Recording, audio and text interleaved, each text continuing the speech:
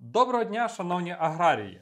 Я Тимофій, ви на каналі компанії Макош, і сьогодні говоримо про одне з найефективніших та найпопулярніших рідких азотних добрив карбамідоаміачну суміш. РСМ це концентроване рідке азотне добриво, яке виготовляється на основі водних розчинів карбаміду та аміачної селітри. Воно містить одразу три форми азоту, яке забезпечує довготривале та рівномірне живлення ваших рослин протягом усього вегетаційного періоду. Виготовляється на заводі група азоти та має вигляд густої, майже прозорої рідини. Додатково містить антикорозійний агент, який береже вашу техніку. Та чому ж аграрії обирають РСМ? Ну, найперше, це за різноманітність форм азоту. РСМ містить одразу амідну, амонійну та нітратну форми. Це забезпечує рослини елементом живлення протягом тривалого періоду, починаючи з швидкого засвоєння нітратного азоту та закінчуючи довготривалим вивільненням амонійного. Висока ефективність. РСМ швидко засвоюється рослинами, що призводить до збільшення врожайності та покращення якості продукції. Зручність у використанні. РСМ легко вноситься за допомогою простого оприскувача, що значно спрощує піджилення рослин. Швидка дія. Рідка форма добрива дозволяє швидко йому проникати в ґрунт та ставати доступним для кореневої системи рослин. Економія часу та ресурсів. РСМ легко транспортувати та зберігати.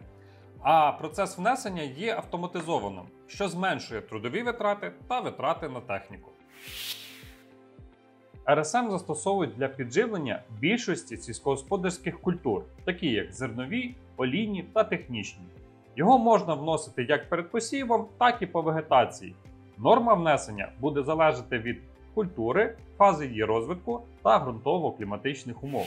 То коли вносити РСМ? Восени для мінералізації пожнивних решток під основний обробіток ґрунту та перед посівом озимих культур. Передпосівний за 1-2 тижні перед посівом культур для забезпечення рослин стартовою нормою азоту. І під час посіву вноситься рядковим способом при посіві, але не варто вносити безпосередньо на насінину. Підживлення по вегетації.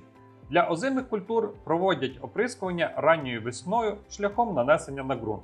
Кукурудза і соняшник міжрядним культиватором або трубками, що йдуть по рядку.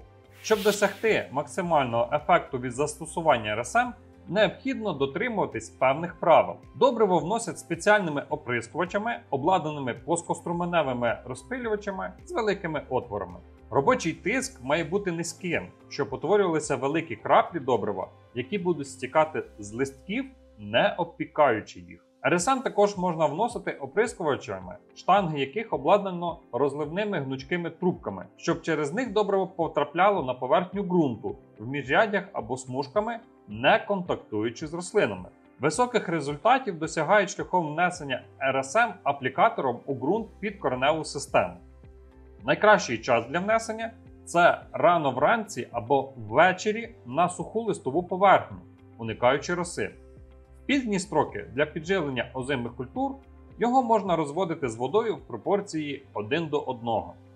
Не обробляють посіви за сонячної погоди і температури понад 25 градусів. За температури понад 20 градусів обробку проводять вранці після висушування роси або ввечері. У період вегетаційного спокою озимих культур та температури нижче 5 градусів. Підсумку можна сказати, що РСМ це зручне та ефективне добриво, яке дозволяє отримати високі та сталі врожаї. Завдяки своїм властивостям воно є незамінним помічником для сучасного аграрія. Його універсальність та висока ефективність роблять його одним з найкращих виборів для підживлення сільськогосподарських культур. Зацікавила пропозиція? Ваш персональний менеджер Макош завжди на зв'язку. Телефонуйте та замовляйте. Привеземо на господарство.